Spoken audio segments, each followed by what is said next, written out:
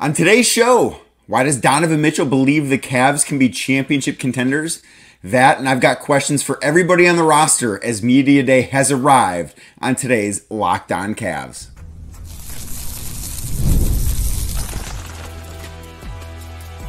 You are Locked On Cavs, your daily Cleveland Cavaliers podcast, part of the Locked On Podcast Network.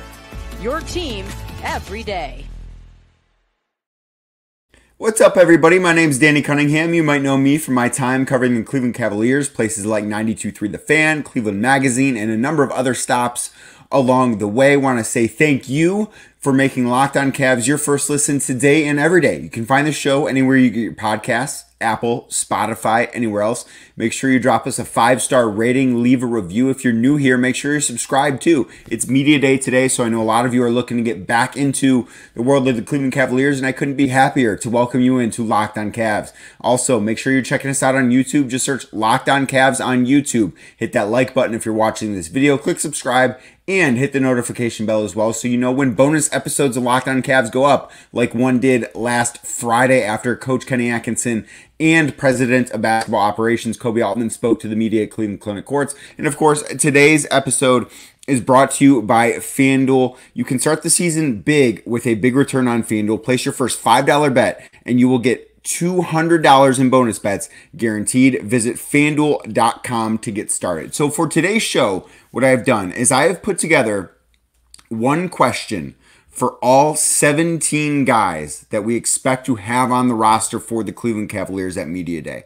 So I've got the 14 guys that are on standard NBA contracts and then the three guys that are on two-way deals. So we will talk a little bit about JT Thor, we'll talk a little bit about Emoni Bates, and we will talk a little bit about Luke Travers. But I, I need to start with Donovan Mitchell because that obviously him signing with the Cavs an extension this summer was the biggest thing that the Cavs did. It wasn't relieving JB Bickerstaff of his coaching duties, hiring Kenny Atkinson, extending Evan Mobley or Jarrett Allen. No, this summer started and for all intents and purposes ended with Donovan Mitchell signing a max contract extension in Cleveland.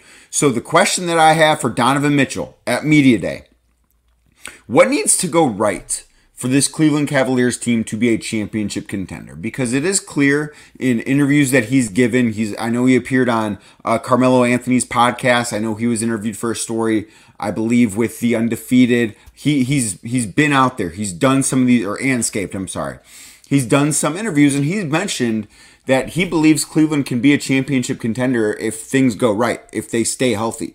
Well, what things need to go right for them to be a championship contender? That that is the thing that I'm most curious to hear from Donovan Mitchell because he is, after all, the best player on this roster by far. He's terrific. He's been nothing short of a superstar throughout his time in Cleveland. He's finished sixth in MVP voting his first year here. I think he probably would have been on some MVP ballots last year had he stayed healthy. I anticipate him to be an all NBA player again this year. I think he's going to continue getting better too. Like, I don't think that he has plateaued or peaked as a player. I think he's still growing. I think he's still getting better. But he is a player that has not gotten out of the second round of the playoffs in his career. The Cavs made it to the second round this past year, and that's as far as he's been. Now, he's been there a couple of times in Utah, but he's not gotten past that stage.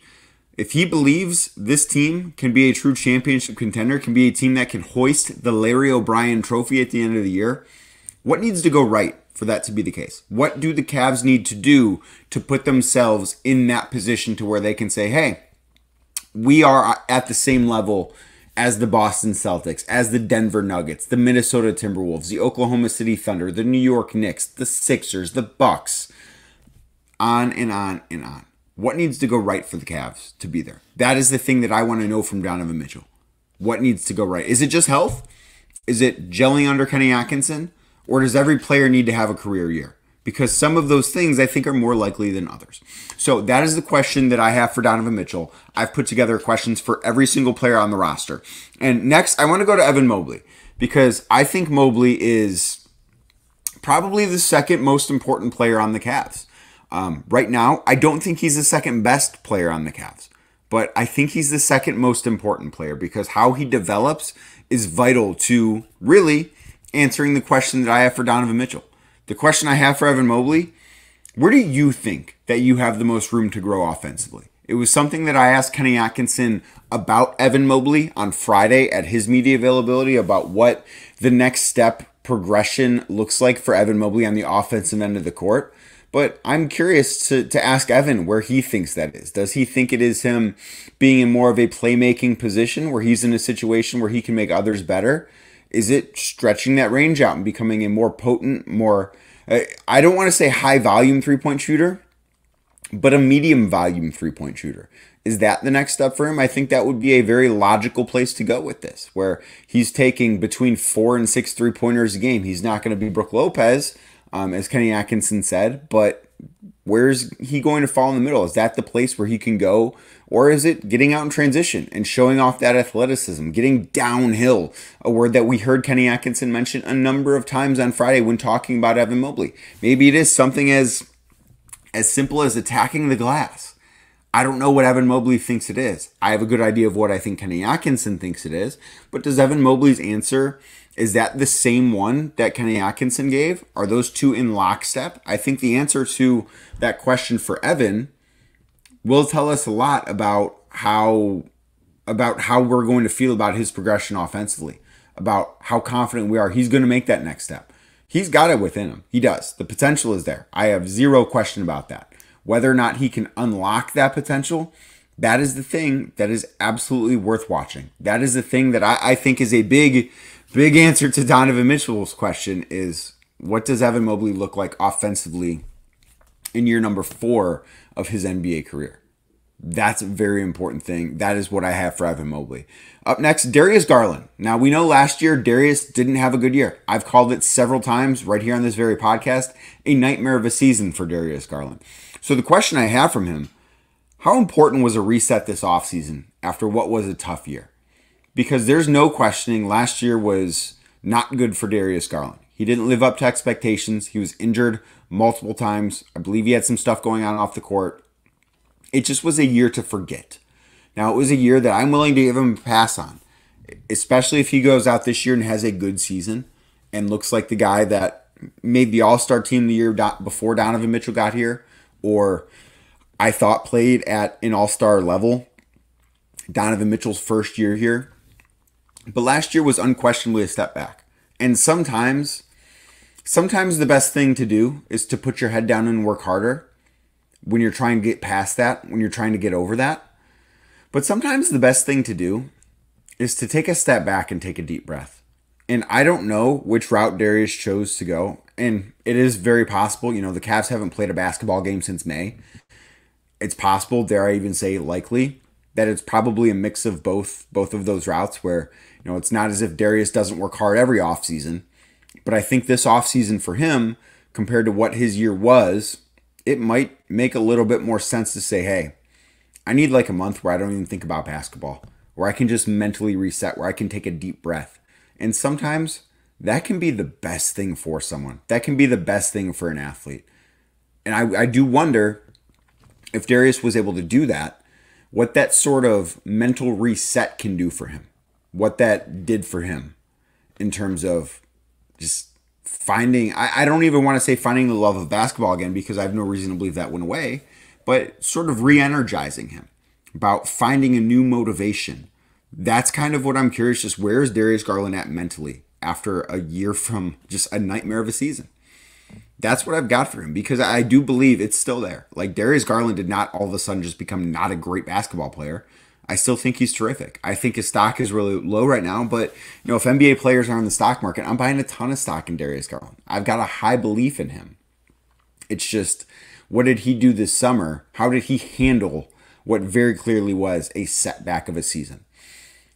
Lastly, in segment number one, I will get to. Uh, I just wanted to handle the core four guys in segment number one. So Jarrett Allen is up next, and the question I've got for Jarrett, obviously he signed an extension. He's going to be in Cleveland, or he's planning on being in Cleveland for a long time, signing this extension earlier this summer back on, I believe it was August 2nd. What made you want to extend in Cleveland? I do think Jarrett Allen has enjoyed his time here. I don't think he would have extended had he not. But I also think that Jarrett Allen probably could have gotten more money had he waited for free agency. Now, he had two years left on his current deal before this extension kicks in. So it's not as if he needed to extend or he was going to hit free agency. But I do wonder why did he want to extend right now, where he could have waited. The salary cap's going to keep going up. I think when when he signed this past deal, we were kind of unsure about it because we really didn't know. We didn't see the full vision for Jarrett Allen as a player. But it was a five year deal that was worth $100 million and it was flat. And now that's one of the best contracts in the NBA because he's not only lived up to that contract, I think he surpassed it in value. So he signs a new max for him contract extension that he's going to be making, I think it's like 16% of the salary cap or 18% of the salary cap. That's a really low number for a starting center, one that has made an all star team. Why was this summer the right time to sign that extension? Why didn't he want to wait until he could sign for more money? Why didn't he want to wait to get to free agency? That I, I genuinely I don't know the answer to that. I'm fascinated to see how he feels about it, why he thought that now was the right time to sign the extension. That is something that I I can't wait to see. I, I I'm very fascinated to see why Jarrett Allen thought now was the right time for him to sign a contract extension. I'm not saying it was a bad thing. I think it was a great thing for the Cavs. But why did Jarrett Allen believe now was the time to do it? Got through the core four. That means we've got 13 more questions to get to. Up next is going to be Max Strus, friend of Locked On Cavs. What am I going to ask him? Find out next, right here on Locked On Cavs. Today's show is brought to you by FanDuel. I've told you a lot about FanDuel. Why have I told you a lot about FanDuel? Well, because FanDuel is, of course, America's number one sports book. And this NFL season, which, you know, if you are a fan of the Cleveland Browns, yesterday wasn't a very fun Sunday. I uh, certainly know it wasn't for me watching that team lose that game to a team in Vegas that they are better than. But you can brighten up your Sundays with FanDuel because right now, if you place your first $5 bet with FanDuel, you will get $200 in bonus bets guaranteed. That's a great way to put a smile on your face because win or lose that $5 bonus or that $5 bet, first bet on FanDuel, going to turn into $200 in bonus bets guaranteed. Plus, one of the things I like about FanDuel, and I was using this actually during the Sunday night game last night between Buffalo and Baltimore, but you can go on the FanDuel app and you can check out the latest stats, view live play by play, which can be a little tricky if you're watching on a streaming service, but the live stats are a great tool and they can kind of help push you in one direction or the other if you want to make a live wager, which of course you can do on the FanDuel Sportsbook app. So FanDuel is the place to go when you're trying to get a little bit more out of your Sundays. It's the place everyone should be going. Why? Because FanDuel is America's number one sportsbook. And again, you can get started with $200 in bonus bets guaranteed when you place your first $5 bet. So just head on over to fanduel.com. That's F A N D U E L.com, and you can get $200 in bonus bets guaranteed. Thank you again for making Locked On Cavs your first listen today and every day. Again, if you're new to the show, I very much appreciate you hopping aboard. This is a great time to be a Cavs fan. Media Day has obviously arrived. I cannot wait to get started talking about Cavs basketball. Uh, tomorrow's episode will be a recap of what happens today at Media Day, and I will then have live coverage from Florida. I will be talking on Locked On Cavs every day um, after the Cavs have their training camp practices at IMG Academy. We'll be heading down there Monday night for the rest of the week, so I cannot wait for that. Basketball is is back, and I am so so excited about it, and I hope you are too.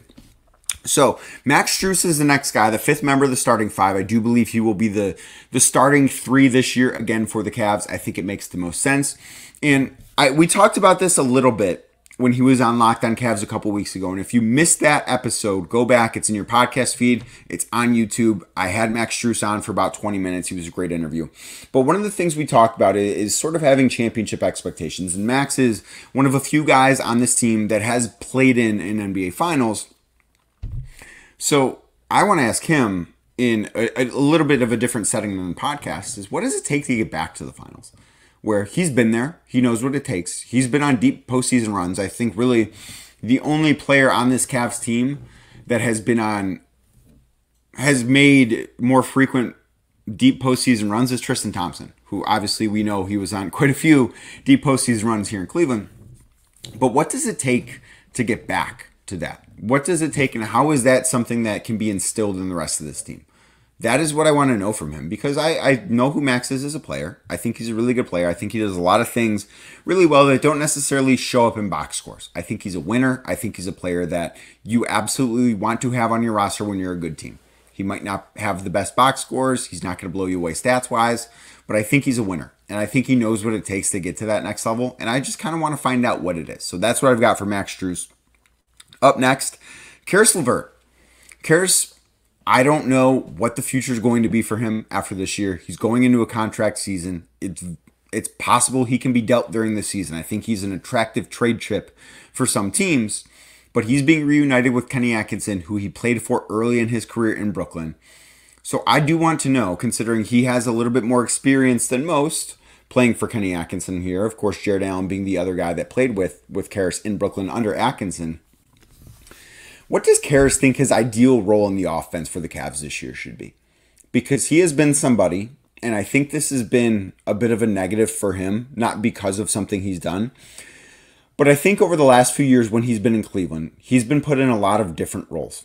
And it's really difficult to find your footing when you are bouncing between so many different roles throughout a season. Think back to the first year Donovan was here where Kerr started that year as a starter and then he moved to the bench. And then as injuries happened, he'd be in and out of the starting lineup. It's just a difficult thing to balance. And then last year, we primarily did see him come off the bench. But what's his ideal role? How does he fit in? What is what can the Cavs do to get the most out of Caris LeVert? That is the thing that I want to hear the answer from Caris LeVert on. I want to know what he thinks the best way to get the most out of him is. Because if he is clicking, if he's playing his best basketball for the Cavs, the Cavs become a much more difficult team to beat. When they have the punch that Caris LeVert can provide off the bench, that is something that makes this team so much better and so much more difficult to defend. When one of Darius or Donovan Mitchell can go to the bench and Caris LeVert can come in and kind of pick up right where they left off. Like that is a very important thing for the success of this team. Up next, I've got Dean Wade. And I talked about this with Jackson Flickinger of Fear the Sword when he was on the show last week. But Dean Wade, I think, is one of the more irreplaceable players on the Cavs. Not because Dean Wade's the best player, not because he's one of the five best players, but he's a very good defender, and he is somebody that they just don't have a replacement for. That's sort of what makes him irreplaceable. It's that they don't have guys that are his size that play that spot. So the question I have for him, and I wish I could just be like, so are you going to stay healthy? But that's not, you know, a legitimate question. The thing I have for him is are you willing to be a more frequent three point shooter? And we talked about this with Jackson last week, but Dean Wade is a good three point shooter that doesn't shoot enough three pointers. He shoots around six per 36 minutes on the floor. That's not a high enough clip for a guy that I believe can be a 40% three point shooter, that has shown he can at least be a 38, 39% three point shooter. That number, I think, for, for the Cavs to get the most out of Dean Wade, that number needs to be up around eight and a half to 10 three pointers per 36 minutes.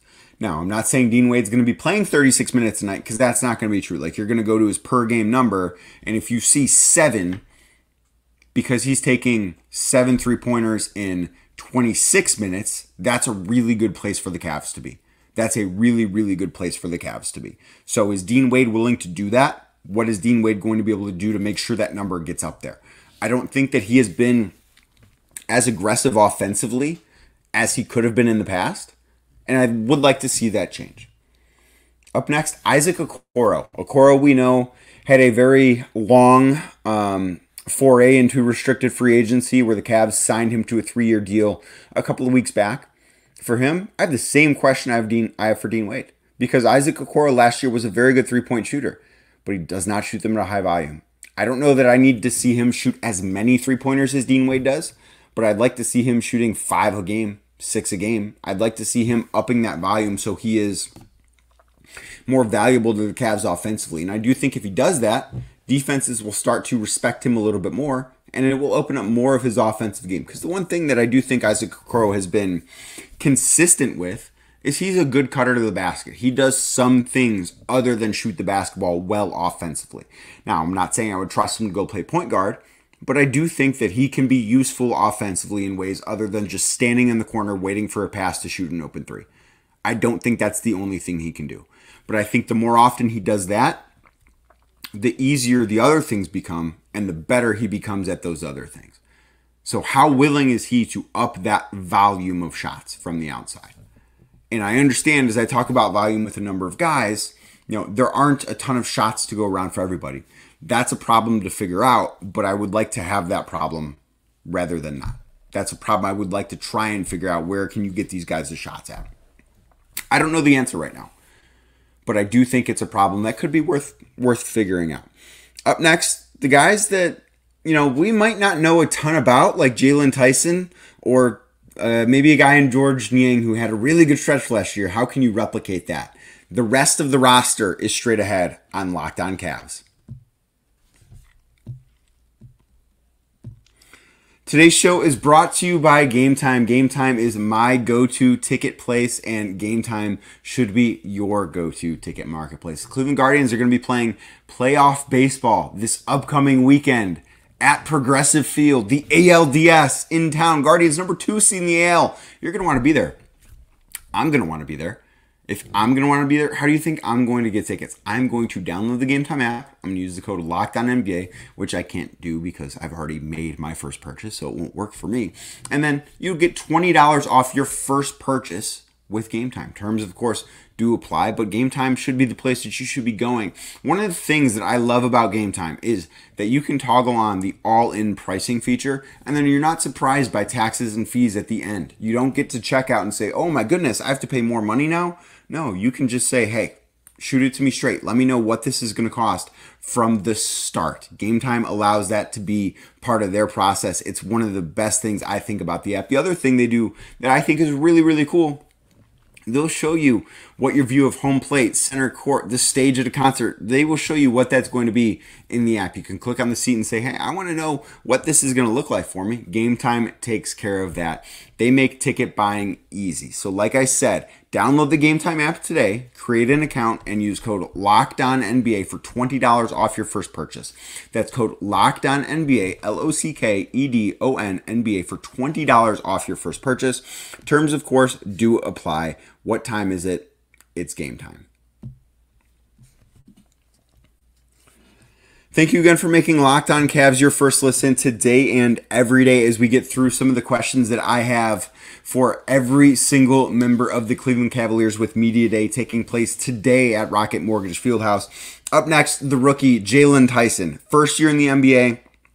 From Jaylon, I want to know what things can you do to stand out and earn minutes on this roster? I mentioned this on Friday's show. I think it was Friday's bonus episode that I don't think the Cavs have a lot of just bad basketball players. Like I think this is a team that 1 through 14 there's there are a lot of good basketball players that deserve minutes. Jaylon Tyson is obviously the most unknown of those players because he's never played in an NBA minute as a 20th overall pick out of Cal. So what can Tyson do? What can he bring to the floor that says, "Hey, I deserve minutes." I have a few ideas of what those might be, like the fact that he's a really good rebounder, that I think he's a really good playmaker for his size. He looked very comfortable with the basketball in his hands in summer league. But what does Jaylon Tyson think those things are? That's what I'm interested to see. Up next, Ty Jerome.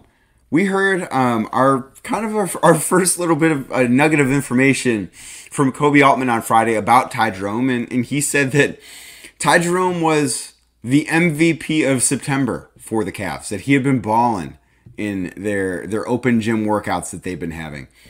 So Ty, for you, what's it been like being the MVP of September? In all seriousness, like how where's your game at right now? Because I think that he is the most forgotten player on the Cavs. We don't know he played in two games last year and then just disappeared because of an ankle injury. I don't know what to expect out of Ty Jerome. I don't. I feel better about knowing what to expect out of Jaylon Tyson than I do Ty Jerome. So I just kind of I kind of wanted to know where's your game at right now. What's that ankle feeling like? Were you the MVP of September? Those are the things that I just I don't know. I'm I'm curious about. Uh, Georges Niang. So George, of course, came on the podcast uh, a couple of weeks ago. Very much enjoyed talking to George. Very much like George.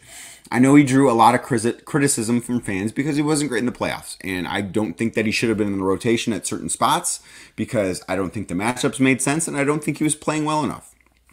But there was a stretch for him last winter when he was phenomenal, where he was playing what was some of the best basketball of his career.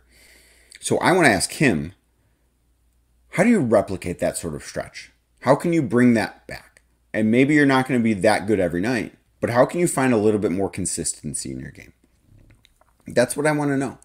because the Cavs do have room for that kind of player. If he can be consistent and he can shoot 38 to 40% from three at a decent volume, there's room for him. There is.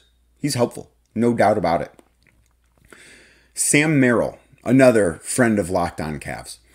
How do you expect to be used differently under Kenny Atkinson than the previous coaching staff? One of the things that I'm curious about is remember old friend Joe Harris, former member of the Cavs? Well, he was in Brooklyn under Kenny Atkinson. Now, he's a little bit bigger than Sam. I think that they're a little bit different as players. I think Sam is actually capable of doing a little bit more offensively than Joe was. But Joe really broke out under Kenny in Brooklyn. Is Sam going to be used in a similar role? What is his offensive role going to be? That I, I really want to know. I really, really want to know because I think that he is somebody that has a ton of untapped potential. I think that he can be I think that he can be a a diamond in the rough, if you will, for this Cavs team. I, I really do think that. Craig Porter Jr. What did you learn about yourself last year in your first year in the NBA? Where he experienced a lot of ups and downs. He started the year on a two way. He ended up on a standard contract, had that bad ankle injury at the end of the year. But he was somebody that was really good. That in spots, he looked like a really good NBA player. What did he learn about the game? And how did he use that in his offseason preparing for his second season in the NBA? Tristan Thompson. Are you capable of playing 12 to 15 minutes per night if needed? Right now, Tristan Thompson is essentially the third true big. He's the third center. I guess you could say maybe you want to say Dean Wade or or Georges Niang is the third big right now. But Tristan Thompson's the third center. Is he capable of fulfilling that role? I liked what I saw from Double T last year in spurts. He can't be a high minutes player, but I do think that he brings a certain toughness to this team that not many guys do. Some do. I think Max Strus does. I think Donovan Mitchell does, but I think Tristan Thompson does too. I think that is there is there is value in that. All right, lastly, I've got the three guys on two ways. I'm going to go through these quick. But Luke Travers, what are you expecting in your first year in the NBA? Wanted to be in the NBA. He talked openly about thinking he can be an NBA role player. What do you expect this year to be? Emoni Bates, when do you think you'll be ready for a standard NBA contract? Does he think he's ready for it now? Does he think it's next year? What does the growth look like for him? I know that he grew a lot in in the G League last year. How much more growth is there left to go in the G League for him? And then lastly, JT Thor. What excites you about the opportunity in Cleveland? Why was Cleveland the right place for you? He is, other than Jaylon Tyson, the only outside addition, and it comes on a two way. But why is he in Cleveland? I, I want to know why he thought Cleveland was the right place to be. I want to say thank you to you for making Locked On Cavs your first listen today and every day. Again, Media Day is today. Might have a bonus episode today. Um, might not come out until tomorrow morning. I'm not sure logistically what things are going to look like for me with a flight later on today going down to Florida for training camp. So we'll have to wait and see. But make sure you're subscribed wherever you get your podcasts Apple, Spotify, anywhere else. Also, make sure you're checking us out on YouTube. Just search Locked On Cavs on YouTube. Hit that thumbs up button if you're watching, click subscribe, and hit the notification bell. I will talk to you later.